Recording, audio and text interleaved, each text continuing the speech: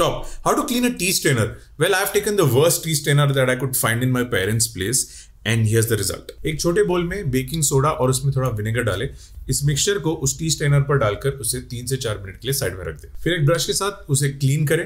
थोड़ा थोड़ा डिफरेंस दिख रहा है राइट अब एक बड़े बॉल में पानी डालकर उसमें थोड़ा liquid soap and baking soda डाले। इसमें टी स्टेनर को डाल दे फॉर ऑलमोस्ट थर्टी मिनट्स फिर एक ब्रश लेकर फिर से इसे क्लीन करते हैं। वेल well, डिफरेंस तो है। ये क्या मुसीबत ले ली मैंने। Well after a lot of cleaning and dipping it in the mixture again and then cleaning this is the result I mean और क्लीन तो हो सकता है but I am tired I think my mom will be happy with this and I have to catch a movie for more such for follow follow RCX.